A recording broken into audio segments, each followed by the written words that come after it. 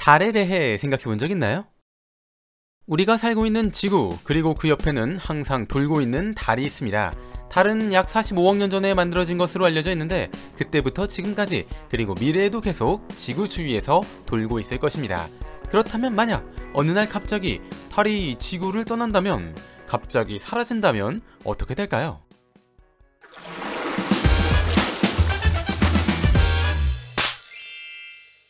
지구의 자전축이 23.5도 기울어져 있는 이유는 약 45억 년 전 테이아라는 행성이 지구와 충돌했기 때문이라는 말이 있습니다. 이후 테이아는 완전히 박살난 뒤 하나로 합쳐져 달이 되었는데 이렇게 만들어진 달의 중력 때문에 지구의 자전축이 일정하게 유지되고 있습니다. 지구는 자전축이 기울어져 있어 공전 위치에 따라 태양빛을 받는 양이 다릅니다. 그래서 계절이 만들어지죠. 만약 달이 사라진다면 자전축을 잡아주는 중력도 사라져 지구의 자전축이 마구 흔들려 쓰러지기 직전에 팽이처럼 될 것입니다. 그럼 계절 역시 마구 변화하게 되겠죠. 또 지구의 자전 속도도 빨라져 하루가 24시간이 아니라 6시간에서 8시간 정도밖에 되지 않을 것입니다. 이런 환경 변화는 지구에 살고 있는 모든 생물에게 영향을 줘 생태계에 큰 변화가 일어날 것입니다. 달의 중력은 바닷물을 끌어당기기도 합니다. 그래서 달과 마주보고 있는 쪽의 바닷물은 부풀어 오르게 되죠. 바닷물이 부풀었다는 것은 밀물이 진행돼 해수면의 높이가 높아졌다는 것을 뜻합니다. 이런 상태를 만조라고 하죠. 지구는 자전을 하기 때문에 바닷물이 부푸는 위치가 시간에 따라 바뀝니다. 달에서 점점 멀어지면 썰물이 진행돼 해수면의 높이가 낮아지게 됩니다. 이런 상태를 간조라고 하는데 간조 때가 되면 갯벌이 드러나게 되죠. 만약 달이 사라진다면 달의 인력에 의한 조성력이 약해져 만조와 간조 차이가 줄어 갯벌이 사라지게 될지도 모릅니다.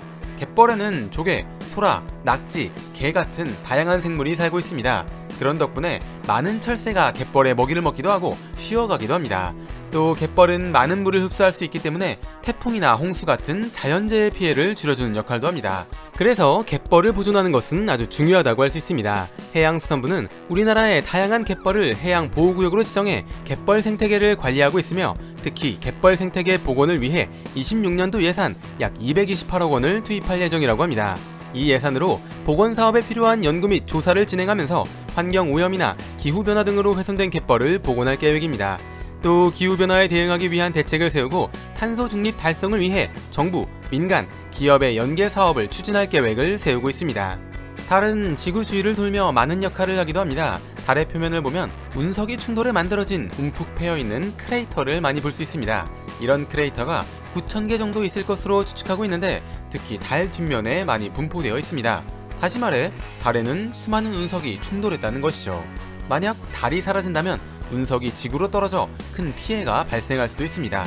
달은 운석을 막아주는 방패 역할을 하고 있다는 것입니다.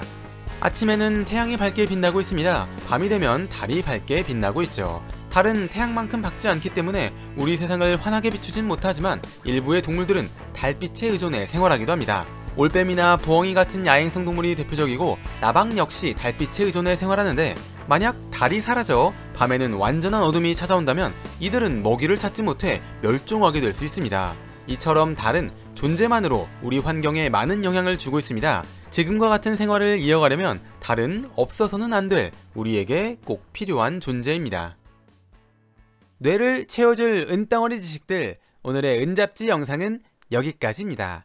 시청해주셔서 감사합니다.